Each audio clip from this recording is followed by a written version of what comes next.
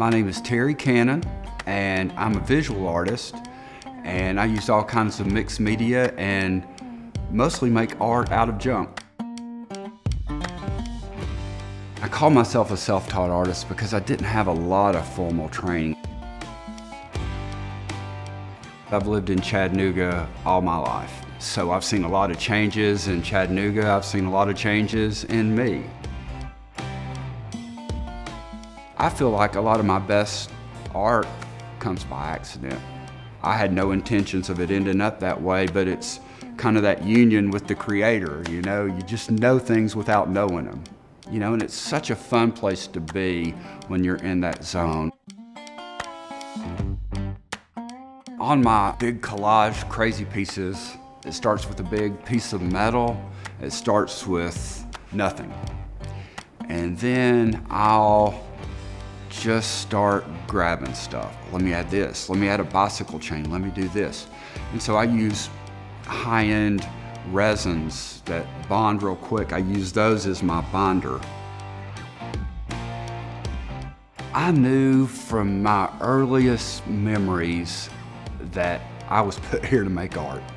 And when I look back through photographs my parents took, I've always got a pen or a pencil or a crayon in my hand just drawing.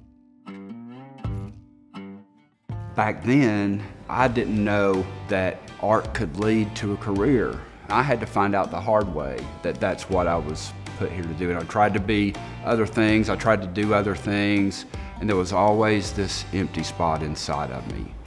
Until I was really in my 30s and just, I had no other choice. I had to get this stuff out of me and I had to use my creativity.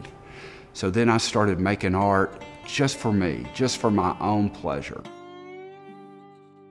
And then I had the courage from that, it kind of snowballed. Let me go do some art shows. So I would apply to art shows and I would get out there, you know, and put my wares out on the street and hundreds of thousands of people would walk by and respond to my art. It was incredible, couldn't believe it.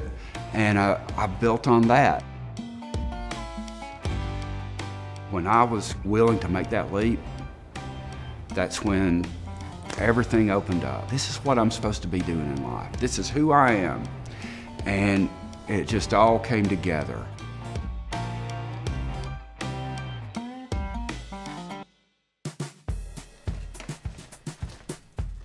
A lot of times, you know, people say, what's your art like?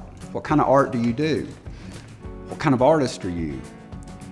The answer is, I don't know, because it changes every day.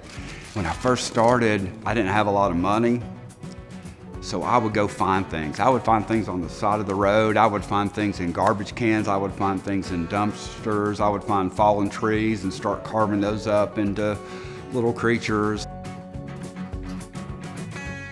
And then the Creative Discovery Museum came to me and they're like, hey, we want you to be a part of this project.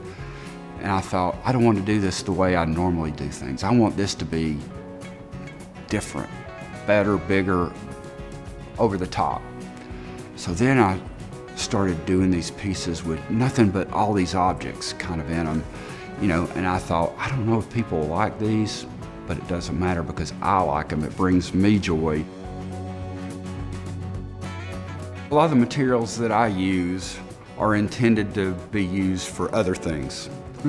and because I don't know what I'm doing, and because I've never learned to do things properly, I do them how I do them.